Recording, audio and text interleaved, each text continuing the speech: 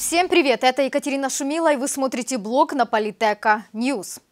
Сегодня в Мариинском парке Киева президент Владимир Зеленский дал пресс-конференцию по итогам прошедшего года. У журналистов была возможность задать самые важные для общества вопросы.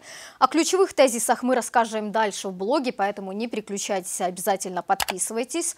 Ну а если сказать общее впечатление от президента, то он был заметно уставший и нервный. Вступал в дискуссию и спор с журналистами, забывал вопросы и раздраженно отвечал. Ну а теперь перейдем к главному. Самым ярким ярким и новым стало то, что Зеленский не исключил, что будет баллотироваться в президенты второй раз, хотя и обещал раньше, что идет только на один срок. Искренне Одной каденции не хватит. Я иду на один срок, как и говорил. Я вижу, что работа сложная, никто спасибо не скажет. Но если будет большая поддержка народа Украины, я смогу об этом думать. Буду думать, у меня есть чем. Также Зеленский не считает зарплаты в 5-6 тысяч гривен бедностью. Так он прокомментировал прогноз ЮНИСЕФ, согласно которому из-за пандемии в Украине 6 миллионов человек могут оказаться за чертой бедности. Президент уточнил, что ЮНИСЕФ делает прогноз на основании общемировой статистики, сравнивая зарплату с другими странами, хотя в Украине и прожиточный минимум, и средняя зарплата меньше. Это люди, которые будут получать 5-6 тысяч гривен, и они считают их бедными. Да, это очень маленькая зарплата в сравнении с европейскими или американскими стандартами. Я понимаю, что у них 250 долларов – это мизерная зарплата.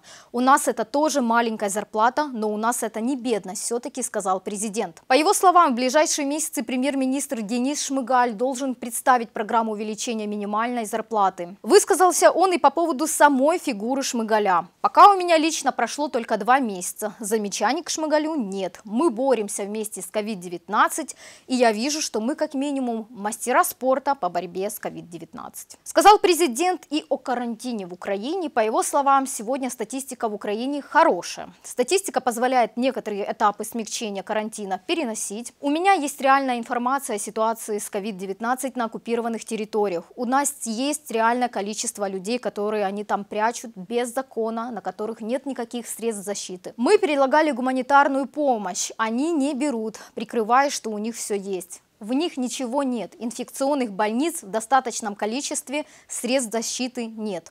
Я смог напрямую договориться с Красным Крестом, и тогда они запустили гуманитарную помощь от Красного Креста, сказал президент в отношении оккупированных частей. Ну и будут ли обещанные посадки? Вот что ответил президент Зеленский. Что касается приговора господину Порошенко, я уверен, что все это еще впереди. Вы же видели и вчерашний скандал, это говорится о записях разговоров якобы Порошенко и Байдена. Я думаю, они так руководили государством, что их ждет очень много разных приключений и разных приговоров. Не хочу об этом говорить, потому что это полномочия не мои, а приговор – это суд, сказал президент.